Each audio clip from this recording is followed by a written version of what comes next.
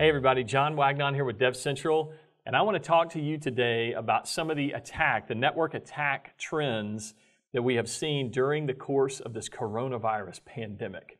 Uh, it's very interesting. Our, our F5 Silverline Security Operations Center, or our SOC, um, has noticed a lot of different patterns and, and trends and things during, specifically during coronavirus. So I wanted to share that. So during the first half of 2020, uh, it's been a crazy year. Uh, they have noticed a 37% increase in uh, DDoS attack vectors that have been used compared to the same period last year.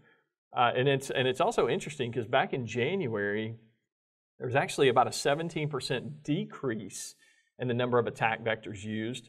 But, launch, uh, but starting in February and kind of moving through the first half of 2020, uh, we've seen about a 57% increase in attack vectors that have been used.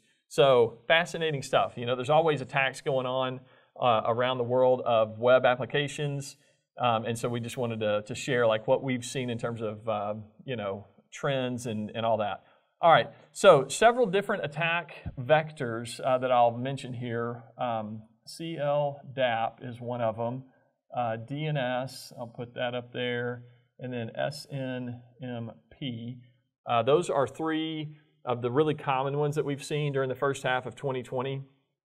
And, uh, and most of the attacks that we've seen include multiple attack vectors, which consumes more bandwidth, and it's just a more, you know, it's just a, it's just a, a larger, larger effect in terms of the attack.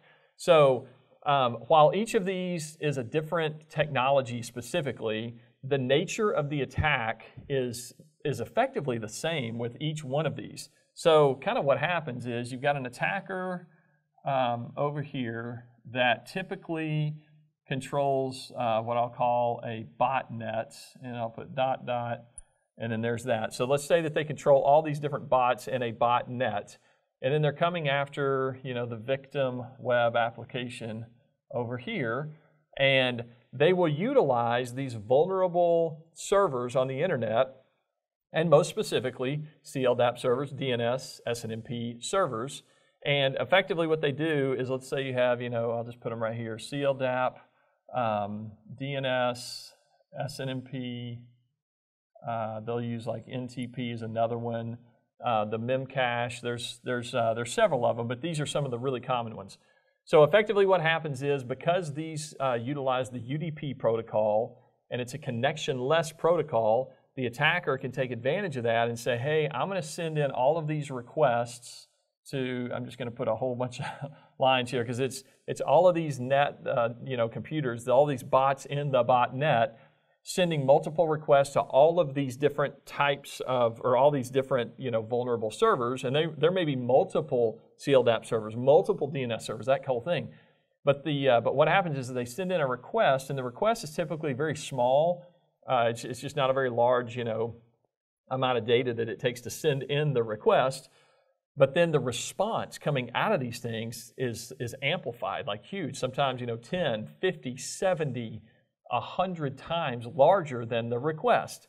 You know, so if you send in, if you send in a, you know, a one kilobyte request, you may get a 100 kilobyte response.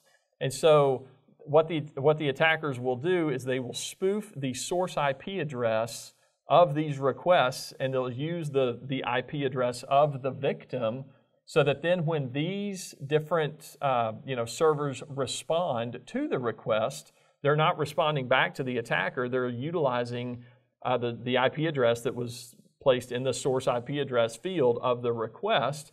And so when they respond, they come back here uh, to the victim to then you know say, hey, I'm going to flood you with all of these responses.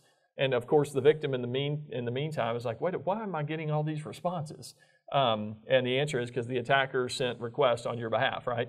Um, so, so this is this is not good. And frankly, some people have said, hey, well, why are there so many like CLDAP or DNS or whatever servers out there that will do this? And there's a whole host of reasons for that. Some people just don't uh, configure these things properly. Sometimes people just, you know, they they use the configuration instructions and they never really go through the security part, or maybe the instructions never really said, hey, make sure you lock these things down. Or maybe they had like, you know, somebody was breathing down their neck saying, "Hey, get this, get this up in like the next 10 minutes," you know, because we got to have it like right now. So like, okay, let me just get it working, and I'm not worried about security right now. Uh, so any, I mean, there's a whole host of reasons that these are out there and vulnerable and open to be used in these attacks. Um, but of course, the attackers take advantage of that. So we've seen a lot of these amplification attacks uh, against victims during coronavirus uh, time, and they're using all of these different attack vectors.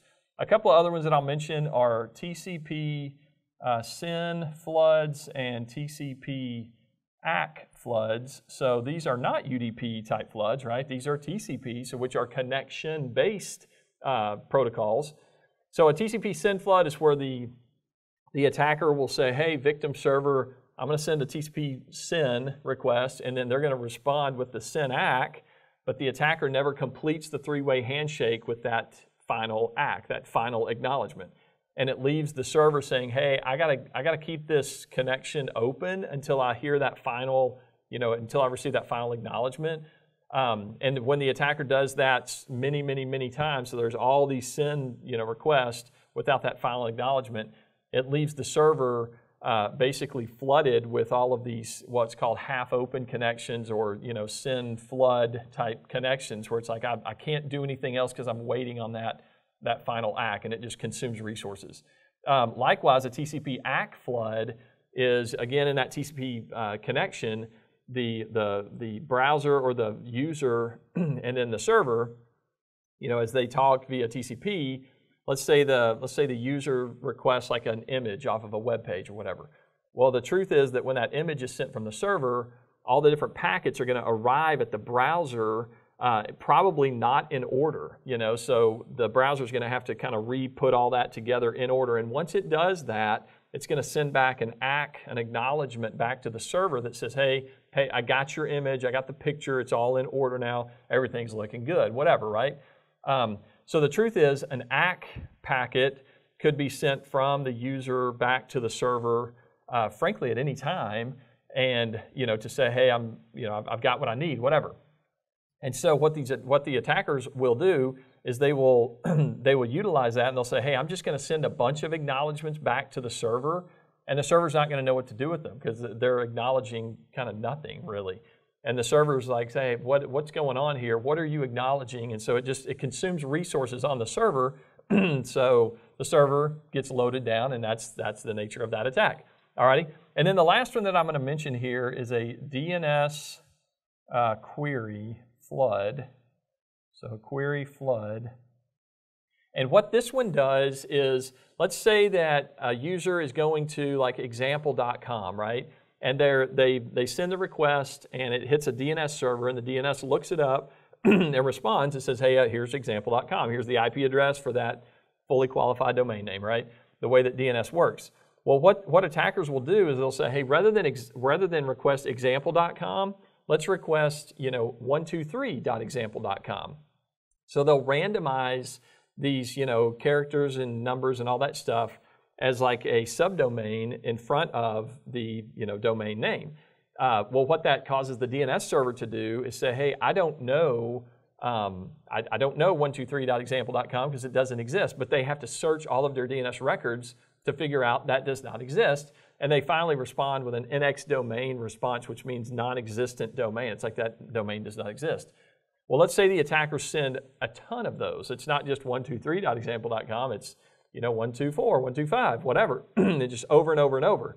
And it consumes the resources of the DNS server.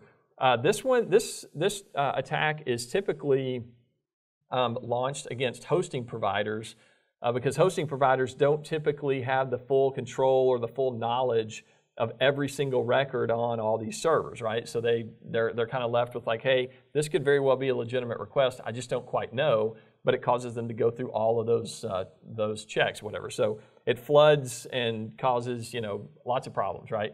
All right, so the Silverline SOC, based on all this stuff, they've got some recommendations like adding or configuring firewall rules uh, for traffic that is sourced from the most common attack vectors, and so you need to block the most common amplification vectors like SNMP, like NTP, like CLDAP, those kinds of things, especially if that traffic is not expected on your protected network. Uh, so you, you just block it there at the firewall. So anyway, uh, Silverline SOC is always standing by ready to help. They've got other recommendations if you want to contact them. They can, uh, you know, certainly if you're under attack or just want to know more about how this stuff works, they're, uh, they're always there to help. So they do a great job. So, hey, we just wanted to bring you these attack trends that we've seen that are kind of unique uh, during this coronavirus pandemic with people working from home and launching all kinds of different attacks now, whatever. So these attackers are, uh, they're always up to something. And the question is, what are they up to like right now? And let me kind of stay at the cutting edge of this so I can, uh, so I can stay, you know, uh, you know, either ahead of it or at least in the know of what's going on today. So I hope you've learned something here with this Lightboard lesson. Hey, if you like this thing, you can click up here on our Dev Central logo and subscribe to our YouTube channel, and we'll see you guys out there in the community.